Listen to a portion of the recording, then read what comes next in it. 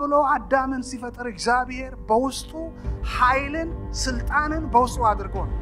ስለዚህ አሁን እኛ በመኖራችን ከአዳም የተሻለ ብልጠት የለም። what was in Adam is በውስጣችሁ ይሄ የክብር መንፈስ ያለበት ኢየሱስ ክርስቶስ በእናንተ ውስጥ አለ። በውስጣችሁ ያለውን ነገር ካወቃችሁ ትንሽ ሰዎች አላችሁ፣ ኃይለኛ ሰዎች ናቸው።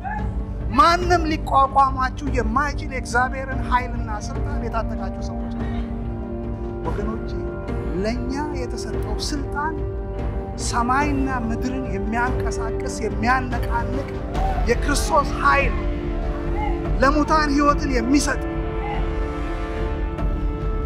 እነ አብርሃም ያመኑት የሌለን ወደ መኖር ሊያመጣ የሚችል የእግዚአብሔር ኃይል በእናንተ ውስጥ ያለ ተደፍኖ የተቀመጠ ምንጭ እንዲፈልቅ በጌታ በኢየሱስ ክርስቶስ you can do it you can do it የሚከለክል የለም።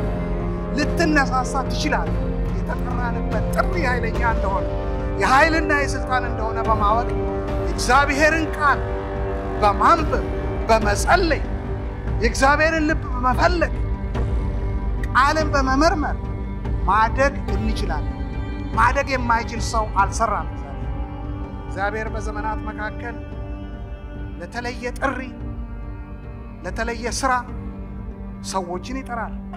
ስለዚህ wake up wake up wake up wake up ተነሱ፣ ተነሱ። የእግዚአብሔርን ስራ ለመስራት ለእኛ በሩ እጅግ ለዘላለም ክፍት ነው።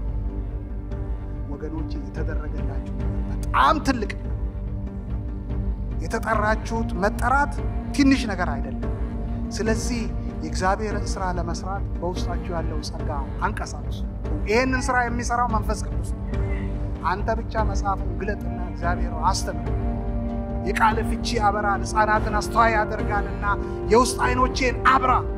እናንተ የሐዋርያነትን የወንጌላዊነትን የነቢይነትን መንፈስ በእያንዳንዳችሁ ውስጥ አለ። በውስጣችሁ ያለው ጸጋ አነሳሱ። ተራ ሰዎች አለ not ordinary person። ክርስቶስ ኢየሱስ በውስጣችሁ ያለ የክርስቶስ ኃይል በእናንተ ውስጥ ያለ የሚመነዘር በየጊዜው የሚያድግ መጨረሻ limit የሌለው ኃይል በእናንተ ውስጥ አለ።